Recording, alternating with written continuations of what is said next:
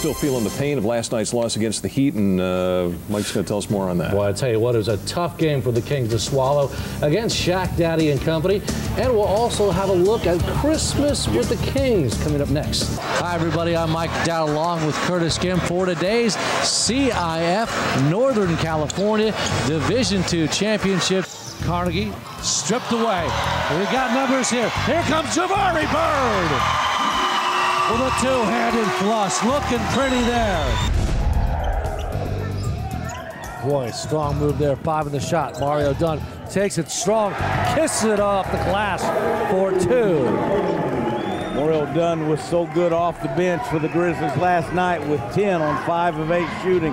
Martin.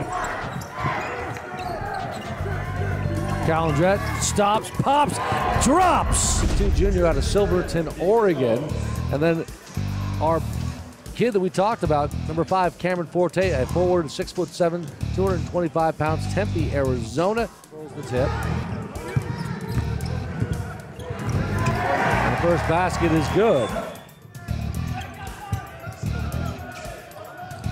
Can't, shot from downtown is good. First three pointer of the game.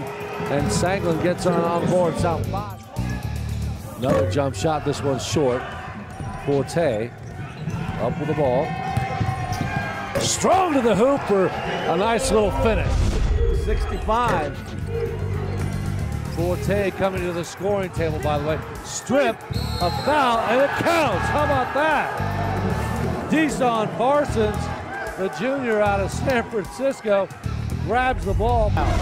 Sacramento State going high-low. Hall up with a steal. Two on one. Back to Hall. Layup, right-handed, good. McCurchin bounce pass to Ingram. Ingram finds the handle. Back door.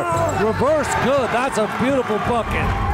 We welcome you to the Reno Event Center for today's first game between, of course, number eight Portland State against number nine Northern Colorado. Colorado will be pretty deliberate on offense. First basket is good for Northern Colorado. There's a shot from way downtown. That, wow, that's a nice, that's a beautiful finish. Way outside, no good. Graves up with the ball. Graves, one on two. Slices and dices and delivers. Terrific man. Good pressure. Senglin pulls it up. Doesn't go. Follow up by Ballin Boy. And he nails it at the ball. 10 on the shot. Senglin loses it as he dribbles quickly. One on one action here. Crandall's fouled. Count the basket. Big move, big time. Three, but I think there's too much time left for that. Cannon inbounds the ball. Or I should say, gets the ball. Richardson over to Senglin. The hot hand. He pulls one up from three. It's good! Wow! One drive. Crandall slices, dices, pulls it up. Does not hit. Follow up, batted away. Made some spectacular plays. Crandall has done a great job. Senglin! Oh, come on! Three ball for Senglin. This guy is on fire. Uh, at, he's putting on the darndest shooting display I think I've ever seen. 25 points, six threes. Hooker one-handed runner for two. Hooker now with 32. The drama, the excitement, and yes, even the pageantry of March Madness did not disappoint. Number four North Florida against number five North Alabama. And boy, the local team from North Florida had a tough time today, especially from three point land. You know, one of the bright spots was Emmanuel Adoyan, who uh, hit one of his 14 points today, but boy, the rest of the team just could not find the threes whatsoever.